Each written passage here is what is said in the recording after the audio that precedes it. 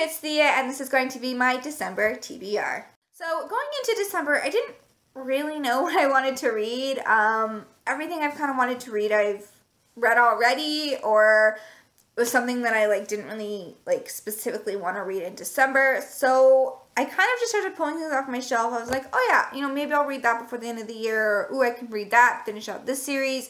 So I've got kind of a weird selection of four books and two graphic novels. My main thing is participating in Tis the Season-a-thon, so all of my holiday kind of Christmassy books are going to be read during that. And um, I will post that video down below if you haven't seen it already. Um, so I kind of wanted to separate that from my like December TBR because my December TBR is just a randomness of books. And so um, I will just show you guys what I plan on reading in December. So these are in no particular order, just kind of whatever's going to pull off the stack first. And the first thing that I see here is An Ember in the Ashes by Sabaa Tahir. I did haul this recently, and I'm trying to get stay on top of like books that I hauled recently because I'm just getting a backlog of stuff. So I figured, you know what, this would be kind of maybe the perfect thing to pick up in December just because after some like short holiday reads, I might kind of want to just be kind of craving. And I've been craving a really good high fantasy novel lately and so I figured this would be the perfect thing to pick up. I hauled it recently. I'm trying to get caught up, trying to stay on top of books that I haul on a regular basis and it's something I've been wanting to read for a while, so I'm hoping that I can get to this this month.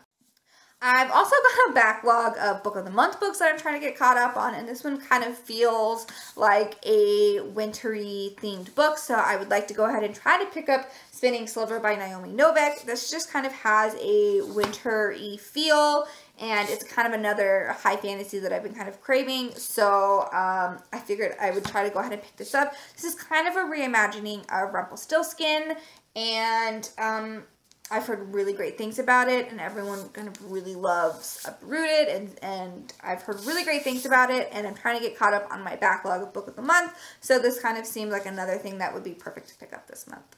And then the two graphic novels I'd like to pick up this month are Revival Volume 3, Escape a a Faraway Place and Revival Volume 4, Escape to Wisconsin. These aren't really Christmassy themed, but they do kind of take place in Wisconsin during the winter, so they do kind of have more of like a wintry feel. Um, basically, the series follows our main character, Dana Cypress, who is kind of a police officer in this like rural town, and one day all of a sudden people start coming back to life. And most of them are like family members and friends of people who are still living in this town. And most of them are pretty like non-violent. They just kind of, you know, want to go ahead and live their life. But there are some that are violent and it's kind of about this town dealing with it and kind of also a murder mystery because you learn in the very first volume um, that Dana's sister has died and come back to life and she didn't even know her sister had died to begin with. So it's also kind of a murder mystery about figuring out who murdered her sister and it's just like kind of the perfect wintry read so I go definitely like to go ahead and pick these two volumes up as well. I also have Unearthed by Amie Kaufman and Megan Spooner on my December TBR. Um, I hauled this way back in January when I first when it first came out. I actually went to the launch party and they both signed my book. So I feel like I really need to get to this before the sequel comes out in early 2019 and I tried reading it when it first came out and I just was not in the mood for it. But I feel like I'm definitely in the mood for it now. I've just been craving some really good like sci-fi fantasy so I'm really excited to hopefully dive into this this month as well. And the last two books on my TBR, if I can get to them, are rereads, and that's going to be Harry Potter and the Half-Blood Prince, and Harry Potter and the Deathly Hallows. And this earlier this year I read Goblet of Fire and Order of the Phoenix. I figured what better way to finish out the year than to finish up my reread of these two books. Um, um, so I don't think I've read these since they've come out, so I'm really excited to dive back into them and after not having read them in so long. I know um, Harry Christmas to You is also happening in December, so I can go ahead and participate in the read along with those when they happen, um, but I'm really excited to finish off the series. I love Harry Potter. It's one of my favorite series of all time. I think it's a lot of people's favorite series. And I feel like it's always kind of the perfect read to read around the Christmas time. So I'm really excited that I can hopefully get to these two as well. So here is my overambitious December TBR. Holy crap. I just realized all of these books are super long.